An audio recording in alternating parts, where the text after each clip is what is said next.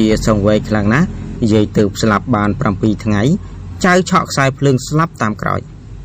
ខេត្តពោធិ៍សាត់ដែលក្រុមគ្រួសារមួយកំពុងរៀបចំពិធីបុណ្យសព7ថ្ងៃជូនម្ដាយរបស់ខ្លួនស្រាប់តែជួបរឿងអកុសលទុកធ្ងន់បន្ថែមទៀតដោយកូនប្រុសម្នាក់កំពុងរត់លេងជាមួយនឹងក្មេងៗជាសាច់ញាតិនៅក្បែររោងចុងភៅត្រូវចរន្តអគ្គិសនីឆក់បណ្ដាលស្លាប់ ដោយករណីខ្សែភ្លើងឆក់ស្លាប់នេះបានកាលឡើងកាលពីវេលាម៉ោង9:30នាទីយប់ថ្ងៃទី7ខែឧសភាឆ្នាំ2024នៅចំណុចភូមិឃ្លាំងមឿងឃុំមណ្ឌលថ្នោតស្រុកក្រគោកយុវជនរងគ្រោះដែលត្រូវខ្សែភ្លើងឆក់ស្លាប់មានឈ្មោះនៃសំណាងភេទប្រុសអាយុ14ឆ្នាំដោយមានមុខរបរជាសិស្សនិងមានទីលំនៅនៅភូមិឃុំកាត់ហេតុខាងលើយោងតាមការបំភ្លឺរបស់ឈ្មោះស៊ូណេភេទប្រុសអាយុ39ឆ្នាំដែលត្រូវជាឪពុករបស់យុវជនរងគ្រោះបានប្រាប់បណ្ដឹងថា មុនពេលកាត់ហេតុការពីវេលាម៉ោង9:30នាទីយប់ថ្ងៃទី7ខែឧសភាឆ្នាំ2024រូបខ្លួនបានអង្គុយមុខផ្ទះនៅក្បែររោងបុននិងកំពុងពិភាក្សាគ្នាជាមួយបងប្អូននៅតុមូលលុះបន្តិចក្រោយមកឃើញក្មេងប្រុសដែលមានឈ្មោះណាតសុកនុតភេទប្រុសអាយុ8ឆ្នាំដែលកំពុងរត់លេងជាមួយនឹងកូនប្រុសរបស់ខ្លួនដែលពួកគេរត់លេងនៅរោងចុងភៅដែលនៅខាងត្បូងជាប់ផ្ទះខ្លួនហើយក្មេងខាងលើបានរត់មកប្រាប់ឈ្មោះសឹមណាតជាឪពុកថាបងនាង វាយខ្លួនចង់បាក់ដៃហើយរូបខ្លួន បានស្ទុះទៅមើលស្រាប់តែឃើញកូនរបស់ខ្លួនដេកនៅលើដីជើងជាប់នឹងបុគ្គលរោងហើយគ្មានកម្រើកអ្វីសោះ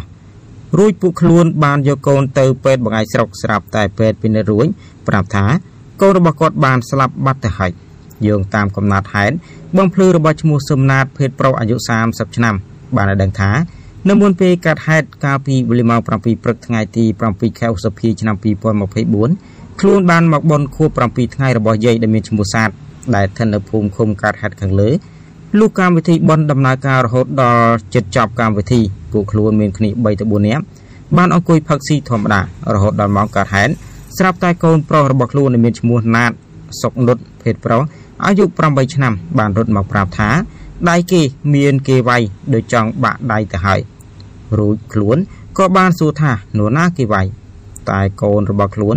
មិននិយាយទេគិតតែពីយំហើយកូនរបស់ខ្លួន បានចាប់ទាញដៃរបស់ខ្លួនឲ្យទៅមើលរួចខ្លួនក៏ដើរទៅតាមក្រោយ ពេលទៅដល់រោងចុងភៅធ្វើមហូបនៅខាងត្បូងផ្ទះប៉ុនប្រហែល2ម៉ែត្រស្រាប់តែឃើញក្មួយរបស់ខ្លួនឈ្មោះណេសំណាងដេកផ្ងាហៀទឹកនំបញ្ចុកចេញតាមមាត់ចំណែកជើងស្ដាំជាប់នឹងបង្គោលរោងចុងភៅខ្លួនក៏បានស្រែកហៅឲ្យគេមកជួយពេលនោះក៏មានគ្នាគ្នាមកចាប់ទាញអាវចេញមកក្រៅ ហើយនាំគ្នាជួយរីតរួចក៏បញ្ជូនទៅពេទ្យស្រុកបាន1ម៉ោងក្រោយមកពេទ្យក៏ឲ្យមកផ្ទះវិញដោយប្រាប់ថាជនរងគ្រោះបានស្លាប់បាត់ទៅហើយ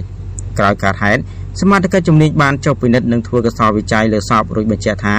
នៅលើខ្លួនសពមានស្លាកស្នាមខ្លោចជាប់នៅលើម្រាមកូនជើងខាងស្ដាំក្រៅពីនេះពុំឃើញមានស្លាកស្នាមអ្វីផ្សេងទេតាមការសន្និដ្ឋានយុវជនរងគ្រោះពិតជាស្លាប់ដោយសារខ្សែភ្លើងឆក់ពិតប្រកបមែនសពយុវជនរងគ្រោះ ត្រូវបានសមត្ថកិច្ចធ្វើកំណត់ហេតុប្រគល់ឲ្យក្រុមគ្រួសារដើម្បីរៀបចំធ្វើបុណ្យទៅតាមប្រពៃណី